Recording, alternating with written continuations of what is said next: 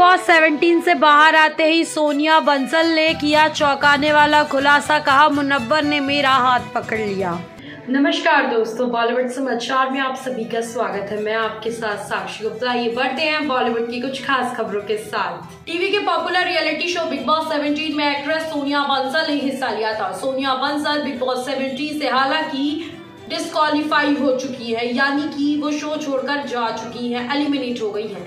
सोनिया बंसल ने Bigg boss के घर से बाहर आने के बाद मीडिया संस्थानों से बात की और तमाम गंभीर खुलासे की है। सोनिया बंसल ने बिग बॉस सेवेंटी के कंटेस्टेंट और स्टार्टअप कॉमेडियन मुनव्वर फारूकी पर बड़ा आरोप लगाया है।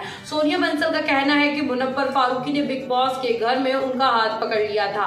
इसके अलावा सोनिया बंसल काफ़ी कुछ कह रही थे। आइए जानते हैं कि सोनिया बंसल ने आखिर बिग बॉस सेवेंटीन को लेकर क्या क्या खुलासे किए हैं। सोनिया बंसल ने एक इंटरव्यू में या फिर एक न्यूज़ चैनल से बात करते हुए उन्होंने ये कहा है कि मुनव्वर फारूकी ने बिग बॉस सेवेंटीन के घर में उनका हाथ पकड़ लिया था।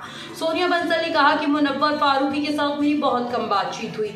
मैं उसकी बात कभी नहीं सुनती थी, इसलिए वो मुझसे बात भी नहीं करते थे।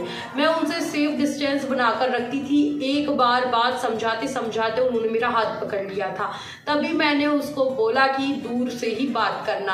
हाथ पकड़ने की ज़रूरत नहीं है। मुझे उनसे उम्मीद थी कि वो दूर ही रहे। सोनिया बंसल ने मुनबर फारूकी पर गंभीर आरोप लगाने के अलावा बिग बॉस सेवेंटीन को लेकर तमाम बड़ी बातें की हैं।